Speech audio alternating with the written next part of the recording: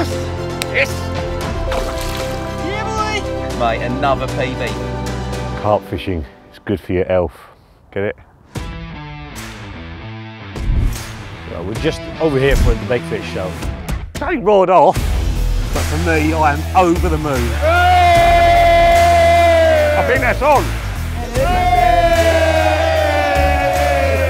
Easy, it's a 40 pounder. Yes. Look at that. Yeah, man. This place is amazing. Oh, who made this tea?